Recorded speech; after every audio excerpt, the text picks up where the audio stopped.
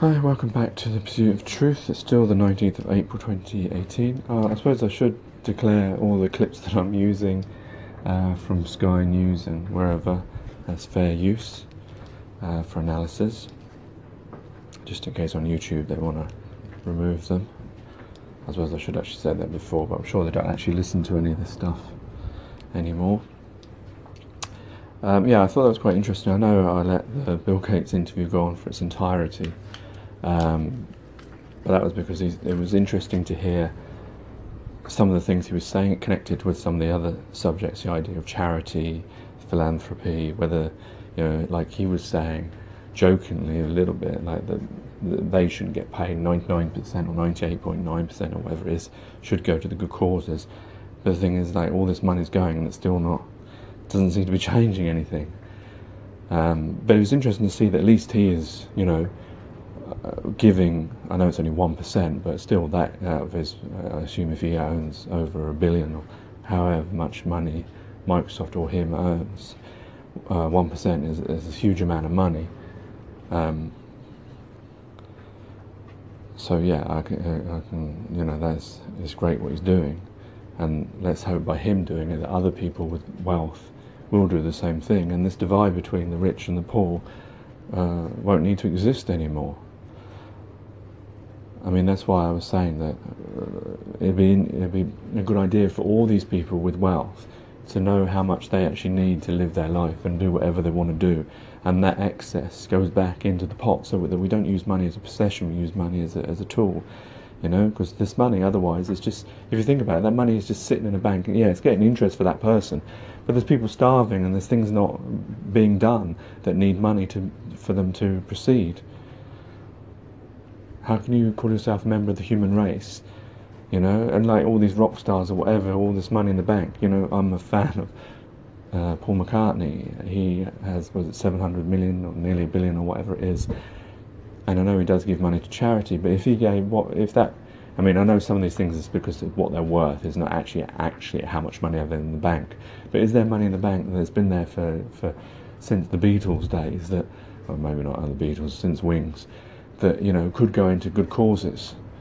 You know that 10% or whatever could change how many millions of people's lives.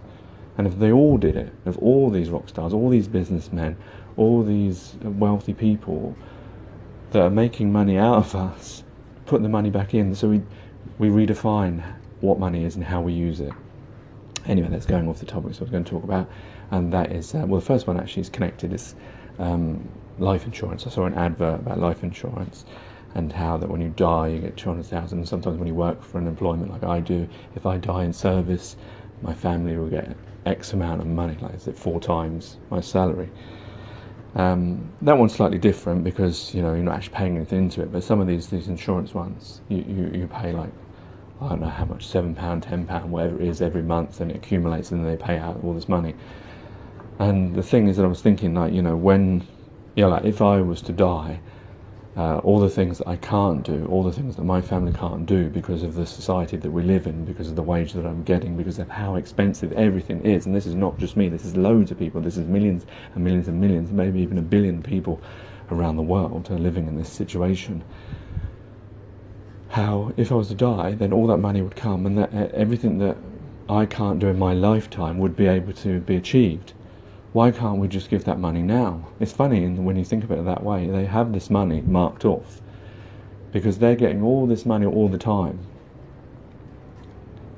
And a lot of people outlive these policies, or you know, whatever happens, or they put more money in than they ever get out.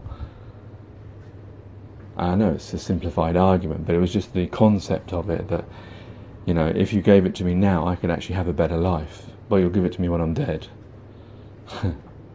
that just sums up the way that life is on this planet and how screwed up it is. Just another example.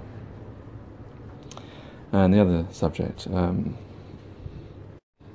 um, was about how I think I mentioned this before about TV and how it's a lie and movies and stuff like that. And then uh, the other day it came to me the idea that, wait a minute, actually we get a lot of reality from television in the sense you get like reality programs. and they're called reality programs. Yeah, we all know that television is a lie. It's fabrication. It's people acting. Yes, it's a contract that we make. You know, some people put it down as that we've agreed that we suspend disbelief, belief, whichever, suspend belief, yeah, and etc. etc. etc. Whatever your argument is, it is still a lie. It's fabrication. It's not true. But you get reality TV. It uses this word reality. Reality normally means something that's real. That's where the word comes from. But the fact is, a lot of these shows are scripted.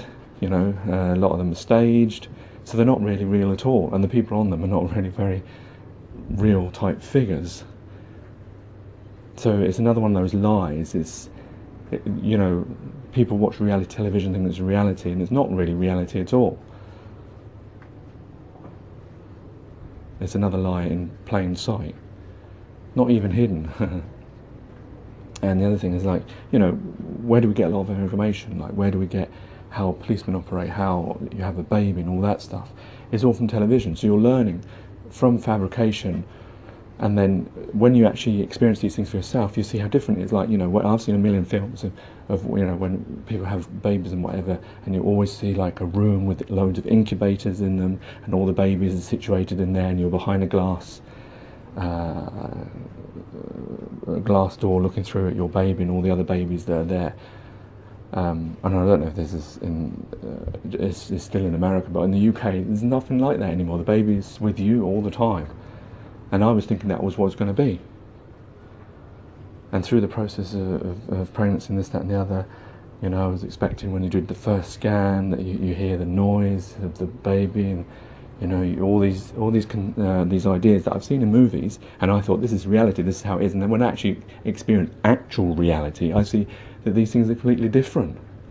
And that's just one aspect. So, how many other aspects of television and film are we watching? We're, bring, we're gaining our ideas of things. You know, it's like when you see about a detective or police program, you see how they do things. But then when you actually get to reality, it's nothing like that. But we're actually learning, that's why I mean it is true that TV and film is, is a lie. We're actually learning things from these things of our real lives, thinking that they are, this is how they are, and then when we get out into the real world and we actually experience them, it's nothing like that. So what is that? That shows how you can easily be programmed. You can be part of reality, but not actually know it. Really, we're being programmed through this system, isn't it? Because it's not telling us the truth about even things that are meant to be real. That's something to think of. Anyway, that's enough from me today. Take care, take it easy, God bless and peace.